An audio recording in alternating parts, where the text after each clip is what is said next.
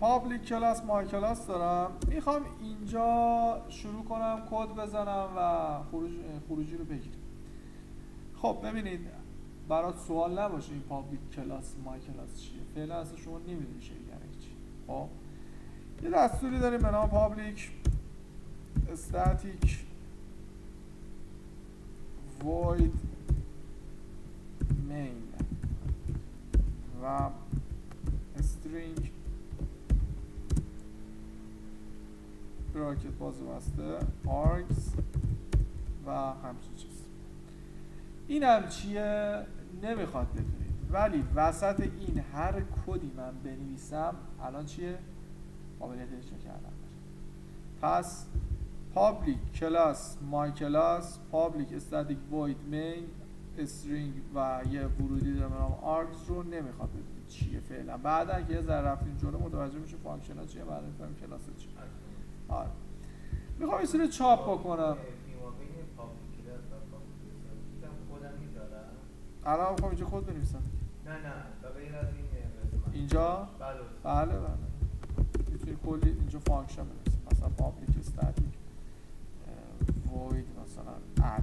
می‌تونی اینجا قرار بدی بهش میگن function ها function ها function ها توابع متد ها. خب میام اینجا. و میام. می‌خوام یه چیزی رو در واقع چاپ بکنم. دستوری داریم به نام سیستم فعلا حفظ کن. dot out یعنی بیا تو خروجی. dot println println یعنی new line یعنی هر چیزی که پشتش قرار می‌گیره می‌تونه بره دوباره خط بعد. من اینجا یه چیزی رو تو double quotation می‌ذارم. می‌ذارم. Hello world این چیه؟ فعلا کاری نداشتش اصلا هنوز برنامه‌نویسی شروع نکردم. همین چیزی رو که نوشتم می‌خوام اجرا کنم. می‌تونید برید توی قسمت run روی گزینه run کلیک بکنی. دوست نداشتی کلیک راست کن. روی run کلیک بکن. دوست نداشتی shift alt F10 رو می‌زنی و اجرا می‌کنی. میره که برات run بگیره. داره چیکار می‌کنه؟ build می‌کنه. یا ما گفتیم. چیکار کرد؟ hello world رو برای من چاپ کرد. یا ما گفتم. این کلاس مگه نیست جاوا dot class؟ خب. جاوا dot class ی که داریم. اینه my class dot جاوا. out چیه؟ بازش می‌کنیم. my class class. byte code ه ایشون byte code ی هستش که شما دارید می‌بینید ولی اینجا byte code بهت نشون میده. حواست؟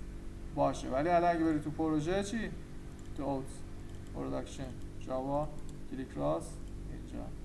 می‌بینی؟ کلیک کرده ولی توی نرم افزار تو می‌تونی اون رو ببینی. الان من می‌تونم بیام توی این مسیر و حالا git رو بزنم توی این مسیرم. خب؟